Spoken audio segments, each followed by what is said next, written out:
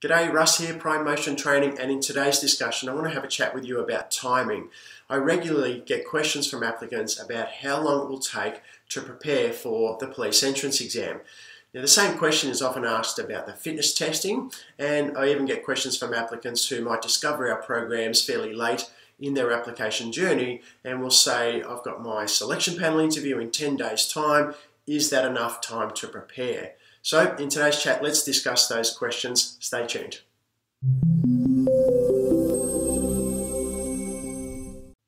Okay, obviously, the first element that we need to keep in mind is time. And the second element to preparing for an event and knowing how long it's going to take to be ready for that event is application. Okay, now of course I'm not talking about your police application and you know when is the recruiting office going to call me.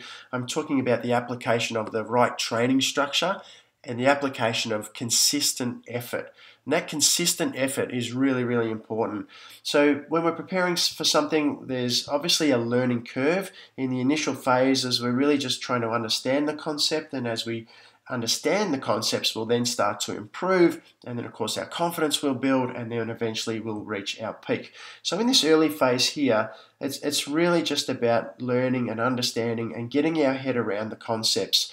Um, you know, it might be technique, getting your head around the technique and improving your technique if it's a fitness related aspect. If it's an, an entrance exam application, it may simply be that you're trying to get your head around formulas and things like that. So, as we do get our head around these things and we start to improve, we're going to really build our confidence quickly. And when that happens, of course, we get this really nice steep improvement, um, so plane now, if we continue on, we're going to get to the point where eventually we reach the peak of our, our performance, the peak of our ability, our potential maybe.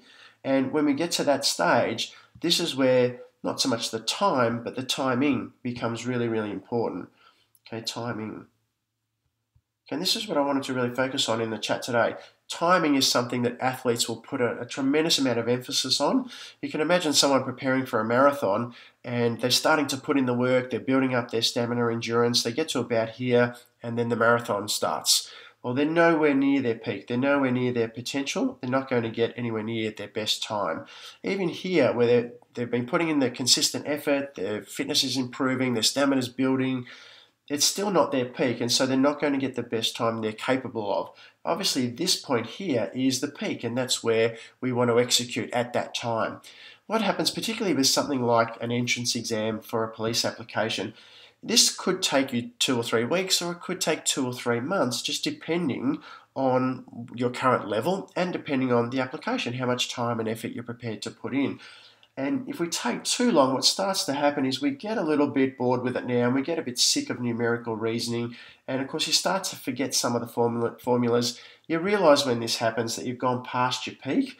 Um, and that's a really dangerous um, place to be because what can tend to happen is you lose all drive then to, to want to continue on.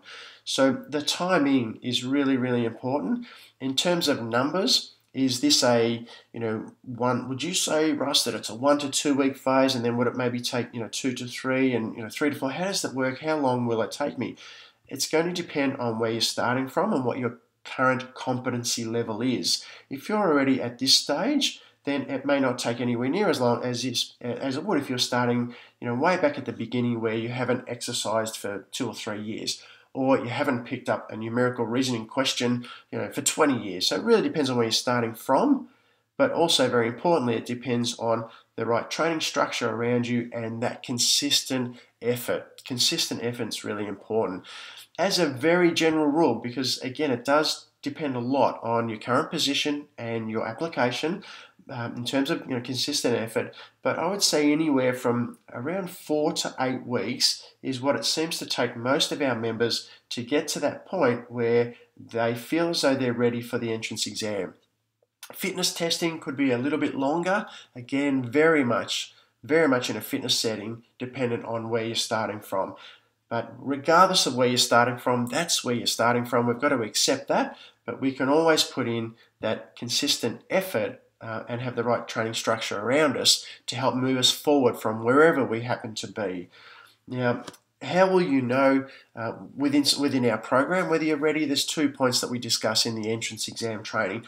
One is the consistently passing. So if you are consistently passing the practice exams in our application, software application, then that's a very good sign that you're at that stage where you're ready to do the exam. And the second is just how confident you feel about it. I mean, do you feel ready? If you're feeling ready, if you're feeling confident, then those two things for me would be enough for me to be pushing you along now to get that exam done. Because I'm very mindful if we take too long and we procrastinate too long, we may fall off the edge of the cliff and we're probably better off doing it two weeks earlier. In terms of planning, as you know, um, just to wrap things up now with our Victoria Police entrance exam, you know that uh, you have to book in for your exam in advance. So when you first get going, I think a sensible uh, approach is to book an exam that's close, not right up to the date, but close to the three month time limit that you have to prepare. Now, of course, that gives you 12 weeks to prepare. And in this early phase here, if you feel as though you're grasping the concepts really well and you're improving very quickly, then you may decide to pace yourself a little bit more evenly, but maintaining that consistent momentum as well. And that can be a little bit of a tricky balance. Gee, I'm going to peak too early. I might have to back off the training a little bit, but maintain that consistency. Of course, the other option could be to bring your exam back to a date that's closer if you feel you've already reached your peak there.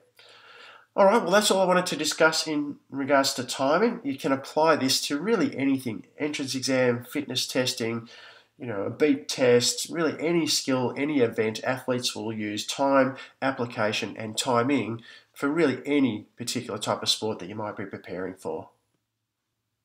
Okay, I hope you enjoyed today's chat around timing. If you have any questions, feel free to reach out and contact me. Otherwise, I look forward to chatting to you again in another discussion soon.